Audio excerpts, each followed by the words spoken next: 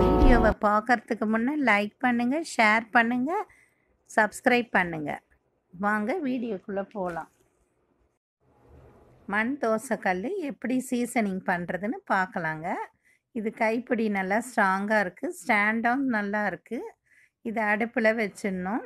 ரெண்டு நாள் தண்ணியில் போட்டு ஒரு மணி நேரம் ஊற வச்சு எடுத்துக்கங்க. ரொம்ப நேரம் ஊற வைக்க வேணாம் தண்ணியில். அடுப்பில் வச்சு கல் காஞ்சதும் சாதம் வடித்த கஞ்சி தண்ணியை ஊற்றிக்கங்க கொஞ்சம் கொஞ்சமாக நல்லா கஞ்சி தண்ணி கொதிக்கும் லைட்டாக அரிசி மாவு ஒரு ரெண்டு ஸ்பூன் எடுத்துக்கிட்டேன். கஞ்சி தண்ணி நல்லா பரவற மாதிரி பண்ணுங்க. லைட்டாக கொதித்ததும் அரிசி மாவை போட்டுக்கணும். இது மண்ணோட துவாரங்கள்லாம் இருக்கும். சின்ன சின்ன துவாரங்க. அது மூடிக்கும். நமக்கு நல்லா சப்பாத்தி எல்லாம் செய்ய வரும் அப்புறம்.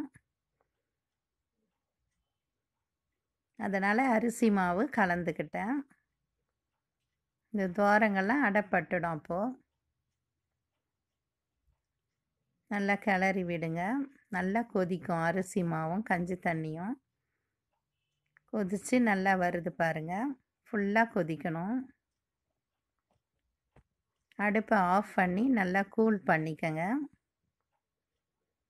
ஒரு மரக்கரண்டியால் நல்லா பரப்பி விட்டேன். கஞ்சி தண்ணி ஃபுல்லாக இருக்குது. ஆஃப் பண்ணி கொஞ்சம் நேரம் கூலிங் ஆனதும் அதை கொட்டிடுங்க.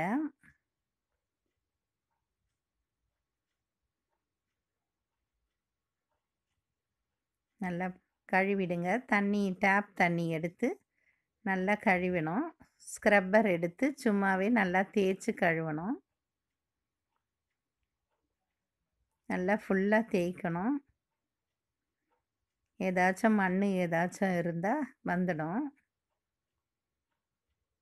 நல்லா தேய்க்கணும். சுற்றி தேய்ங்க.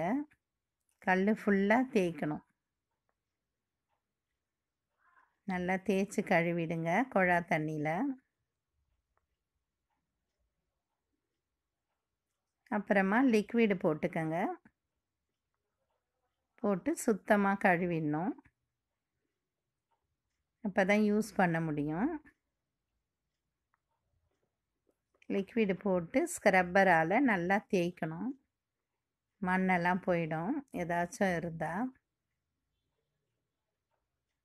நல்லா மூணு தடவை தேய்ச்சி கழுவிட்டேன்.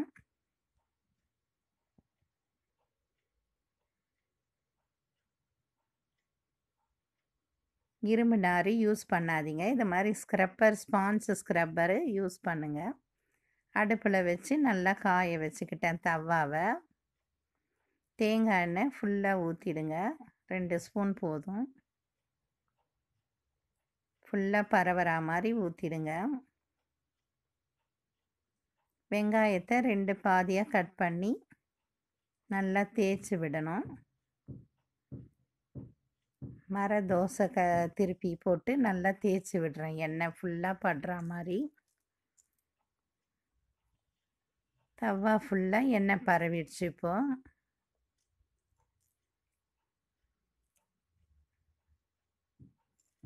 நல்லா எண்ணெய் காயுது. வெங்காயத்தை கட் பண்ணதை எடுத்து நல்லா தேய்ச்சி விடுங்க. நல்லா சூடாகுது கல் ஈஸியாக இது வந்து சீசனிங் பண்ணலாம் இந்த மண் தோசைக்கல்லை. நல்லா வெங்காயத்தை ஃபுல்லாக அப்ளை பண்ணிவிடுங்க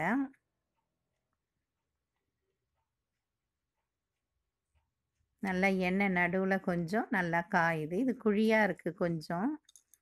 நல்லா ஆம்லேட்டு தோசைலாம் நல்லா வரும். பொடியாக கட் பண்ண வெங்காயத்தை போட்டுக்கிட்டேன். போட்டு நல்லா பரப்பி விடணும்.